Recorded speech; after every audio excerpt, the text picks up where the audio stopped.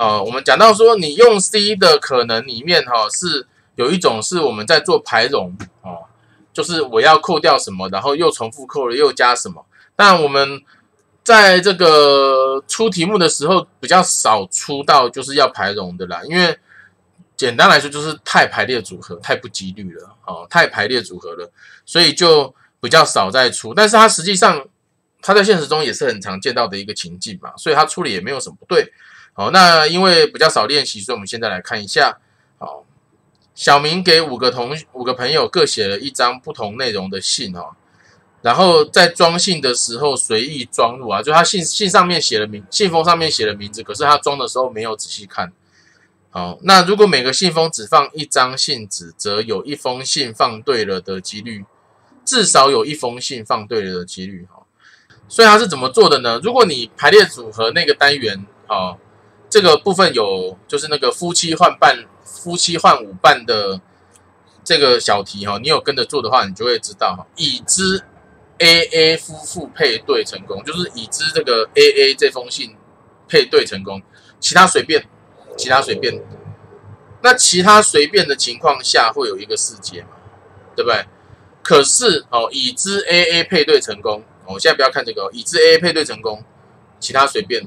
当我去把它乘以五倍的时候，因为我不见得要已知 A A 啊，我也要已知，也可以已知 B B 嘛，所以我把它乘以五倍，这样会导导致什么情况呢？就说已知 A A 配对成功里面，好，这个世界里面也有 B B 配对成功的，结果已知 B B 里面也有 A A 也配对成功的。换句话说，A A B B 都配对成功的被我们重复算了。那我们到底重复算了多少呢？好，两人配对成功的都被我们重复算一次，所以这个是好已知 A A B B 配对成功的。但是就是乘以 C 五取二哈，因为任何的两个人配对成功的都被我们重复算了。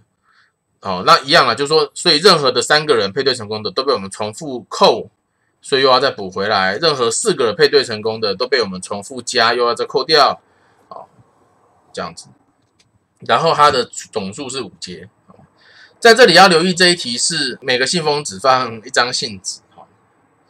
如果今天问题是每个信封不限于放一张信纸，那你就会从五阶、四阶、三阶、二阶变成是五次、四五的四次、三次、两次、一次、零次。这里要注意一下哈，它跟那个士兵站岗有略微不同哦。因为我们士兵站岗的时候，你如果说有一岗没人站的话，那剩下的士兵哈，五个士兵的选项少一个嘛，它会从三的五次变成二的五次，也就是说它是。底数一直在变小，可是我们现在这里就是说，你假设 A 这封信放对了，其他不管，其他不管，那其他的信可不可以放进 A 这个信封里呢？可以啊，我只是说 A 这封信有进去对的信封嘛，没有说其他不能进来的，没有，我没有要把这个信封移除，所以说其他的信也可以进到 A 的这个信封，所以其实每个信在选的时候还是会有四次的选项。那同样道理哈，我今天就是因为我乘五倍嘛，那我是不是要扣掉那个 A 也放对，B 也放对？那 A 也放对了，放到 A 的信封；B 也放对了，放到 A 的 B 的信封。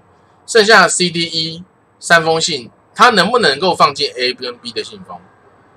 也没有说不行啊，也没有说不行，对不对？哦，所以说哦，在这样的情况下哦，它其实是。你因为有放对了，你就不再进来挑选了嘛，所以你的次数是减少了，你的性质是你的次数减少了，可是你可以被选的对象，你的信封哦，就是你的底数是没有动的，都是五的，哦，所以我们这个式子哦这样写啊，就是它的底数一直都是五，而不是底数减少，那我们要想清楚。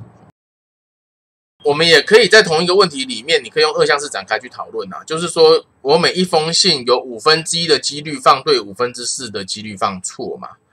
那么在五分之一加五分之四哈，五分之一圈五分之四差的五次展开中，哦，其中这个至少有一个对的哦，至少有一个对的，所以是除了哦，除了那个我没有写那个 C 五取零之外啦哈，C 五取零乘上五分之四的五次之外。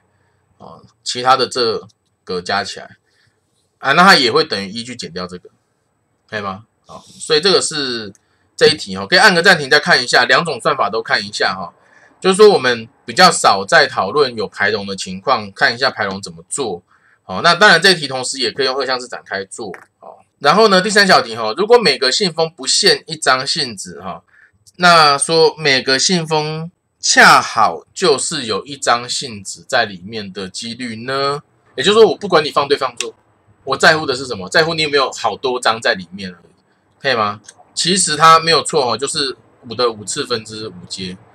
但是它也可以用排龙的哦，它可以用全部去扣掉有信封里不止一张。那有信封里不止一张会是怎么做的呢？也就是说，有的信封没有啊，所以就是就会是我们刚才讲的那个士兵站岗的情形哦。你如果有的信封没有信纸的话，你是移除底数，然后你的次方不变啊，所以要比较清楚这两种不同的情境哦。前面那一题是这个次方减次方减少，因为你的信纸。在在一次一次的讨论里面，信纸是越来越少，好，但是你的可以放进去的信封没有动。那我们现在是变成说有信封没有，可是信纸没有动，好，所以算出来是这样子。那所以就给大家一个去对个对对照一下哈，这些题目到底差别在哪里？现在看这一题啊，这题我自己出的。过年期间呢，乐透公司推出超级刮刮乐，印制五十万张，每张卖五百块。哦，里面有十张哈，可以刮到一千万。哦，那初二的时候呢，中午新闻报道说，该刮刮乐已经卖出了啊五十万张，里面已经卖出二十万张哦，然后已经有五个人刮中了哈，十张里面有五张被刮出来了哈。小明看了新闻也想要去买。好，那小明妈说五十万张卖二十万张，所以还剩三十万张嘛。刮刮乐剩五分之三，可是奖已经被刮走一半了哦。所以说呢，现在去买中一千万的几率是比一开始就买还要低呢。那像是有点不划算呢。小明爸说，这个刮刮乐啊，它印好之后拿出来卖，它每一张有中奖没中奖，在它印好了之后就已经知道，对不对？那所以说。哦，这个五十万张里面有十张是最大奖，那每一张中奖的几率就是五十万分之十哈，所以别人有有刮中没刮中，其实跟我们是没有关系的。好，就我们去买的那一张，它的中奖几率早就已经确定了，这样子。那他们两个谁对谁错呢？哎，可以想一下哈，到底是说因为已经被刮走很多奖了，所以。现在买刮刮乐中奖的几率比较低，比较低，有道理。还是说，其实这个刮刮乐早就印好了，所以有有中奖没中奖，哦，中奖几率是多少都确定了，哦，所以现在去买，什么时候去买都没有差。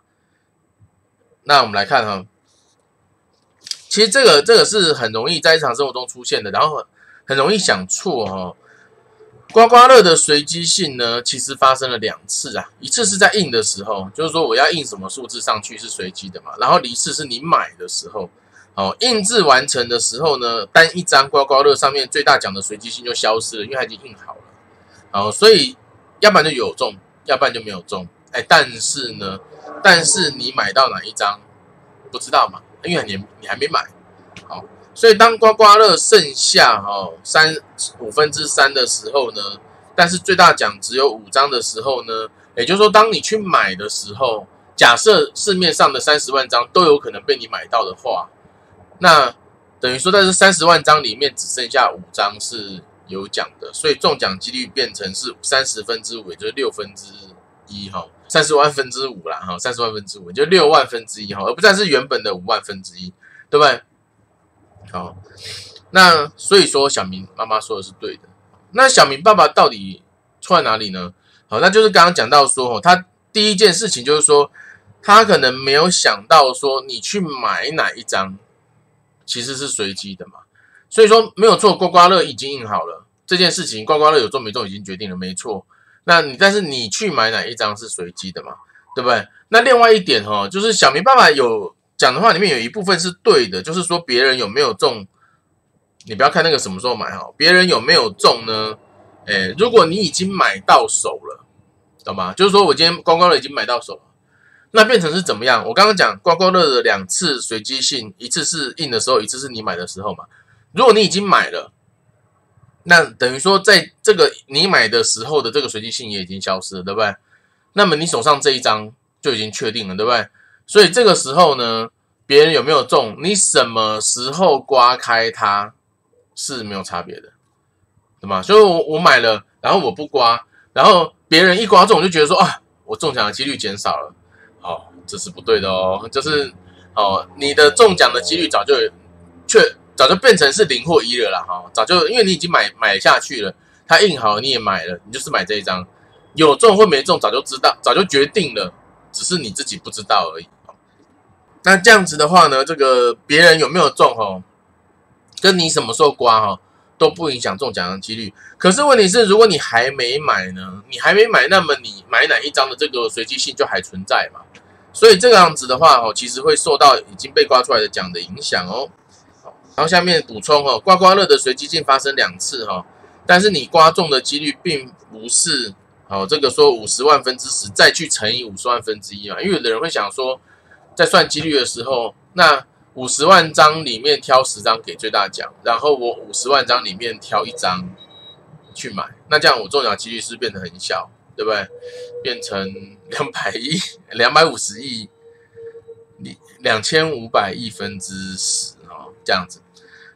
那事实上是不这样算是不对的，这样算是不对的哈。我们只需要去算这个五十万分之十就好了。那为什么呢？因为虽然你买任何一张的几率都是五十万分之一，可是任何一张都有可能被你买到啊。也就是说，五十万条分支的树状图，哈，每一条的分支会让你乘五十万分之一。可是因为你这五十万条分支都可以走嘛，所以这里会乘起来变成一啊。所以啊，我们在算几率的时候，这个地方是不用看的。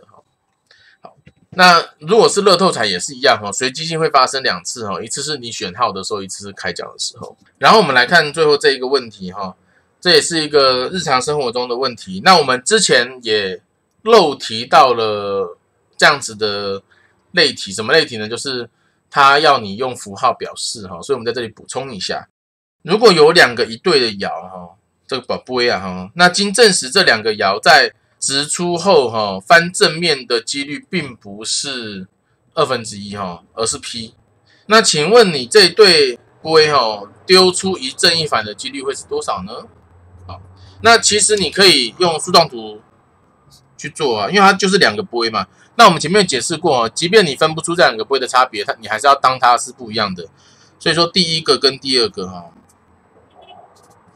而且其实不会分得出差别啊，因为一个是。左边平，右边圆，一个是右边平，左边圆。它那个弯口会让你知道它是朝哪一边的，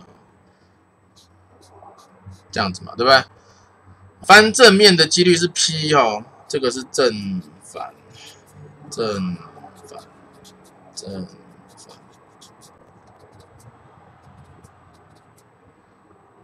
啊，不是二分之一哦，就是 P。那 P 的话，诶，那那那个反面要写什么？这就是这一题要问的啦。好，这是这题要问的。如果你翻正面的几率是 P 的话，那你反面要写什么？答案是一减 P 啊。